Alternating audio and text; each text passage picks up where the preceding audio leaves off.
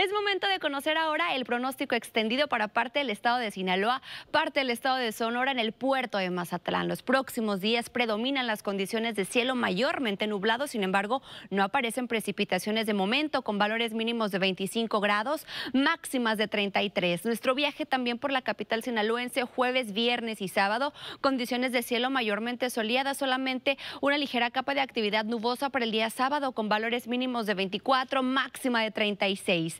Nuestro viaje por el norte del estado de Sinaloa, por los mochis, cielos completamente despejados para jueves y viernes, mayormente nublado para el día sábado con valores mínimos de 23, temperatura máxima que nos reporta los 36. En parte del estado de Sonora, en Ciudad Obregón, importante también actualizarnos, aquí predominan las condiciones de cielo mayormente soleado con valores mínimos de 24, máxima de 40. Por último, nuestro viaje por la capital del estado de Sonora, Hermosillo, aquí predominan las condiciones de cielo mayormente nublado, sin embargo no hay presencia de lluvia, con valores mínimos de 28 grados, el termómetro se eleva el día de mañana hasta reportar 43 grados centígrados.